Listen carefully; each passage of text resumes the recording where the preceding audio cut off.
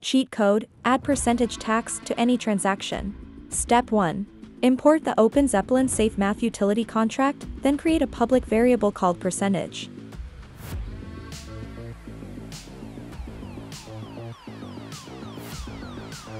Step 2. Create a function to update the percentage variable as you like.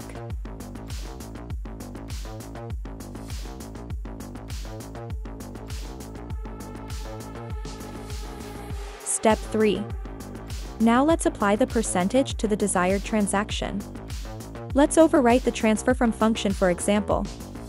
Anytime a user decides to transfer ERC 20 tokens to another wallet, we will charge a tax fee of 10% to the total amount of tokens to be transferred. The formula below reads Transfer amount times fee divided by 10,000 basis points. Important, this is not the 10% fee.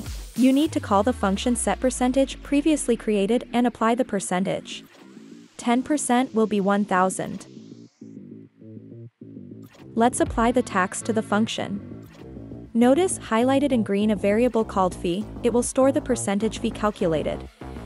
Basically by applying the tax on the amount of tokens to be transferred by the user. We will create another variable below called total and we will subtract amount of tokens minus fee previously calculated. We will then transfer fee to the contract address in the first transfer action.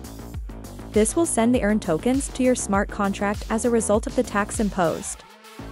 Finally, we will transfer total which is the amount of tokens minus fee to the destination address specified by the user. Like this 2-minute Solidity cheat code?